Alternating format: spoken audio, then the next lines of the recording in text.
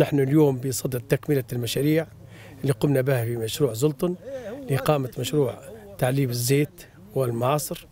أيضا اليوم جينا لمنطقة ترهونة بناء على دعوة من المجلس البلدي ترهونة آه، وطلعنا على المشاريع على شجرة الزيتون اللي موجودة في ترهونة. ما شاء الله تبارك الرحمن تفوق أكثر من 2 مليون شجرة زيتون مما يؤدي إلى إقامة مشاريع تنموية لعصر الزيت وتعليب الزيت ونضاهي به زيت الليبي لجميع العالم نغدوا السوق الوطني وما إلى وكذلك السوق العالمي.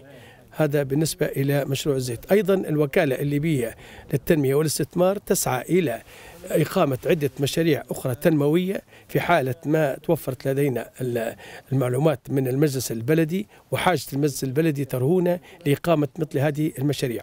نحن بصدد التشجيع المستثمر الوطني بالدرجة الأولى وكذلك المستثمر الأجنبي اللي هو يسعى إلى إقامة مشاريع تنموية في ليبيا. إن شاء الله تعالى المستقبل زاهر.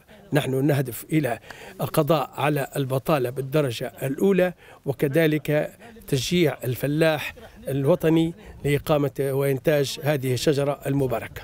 نتأمل خير ونتوقع خير. إن شاء الله نسعى إلى النهضة والتطوير والإنتاج والتقنية والتكنولوجيا إلى كل مناطق ليبيا بحول الله تعالى.